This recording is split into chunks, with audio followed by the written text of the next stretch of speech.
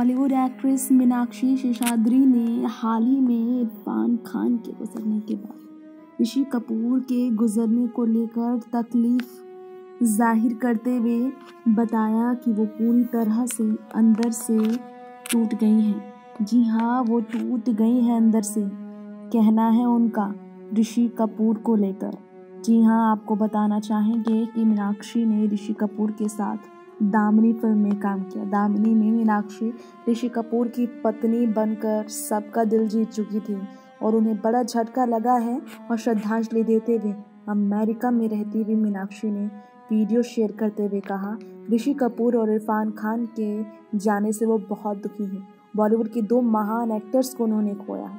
Fans और audience को नहीं, बल्कि फ़िल्म इंडस्ट्री को भी। उनके जाने पर बहुत बड़ा नुकसान हुआ है। दो दिग्गज और बेहतरीन एक्टर्स को हमेशा के लिए खो देना सबसे दुखद है इस साल का सच ये वो खुश नसीब हैं कि उन्हें ऋषि कपूर के साथ पाँच फ़िल्मों में काम करने का अच्छा खासा मौका मिला और दामिनी फ़िल्म उनके लिए बहुत ख़ास है, जिसमें वो उनकी पत्नी बनी थी। उनके साथ काम करने में उन्हें बहुत खुशी मिलती थी।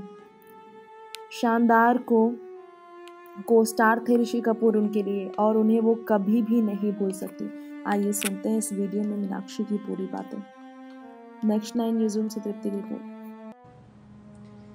it's with a very heavy heart that I am talking to you today in memory of two fantastic actors of the Bollywood industry Rishi Kapoor and Irfan Khan We have lost both these great personalities just in the last few days.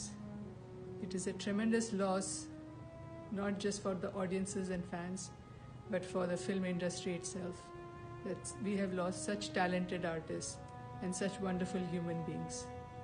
I have been fortunate to work with Sri Rishi Kapoor in five films, especially the most famous, Damini. It was a wonderful experience working with him. He was a very considerate co star, a great co star who brought out the best in me I will remember you, Rishiji, always.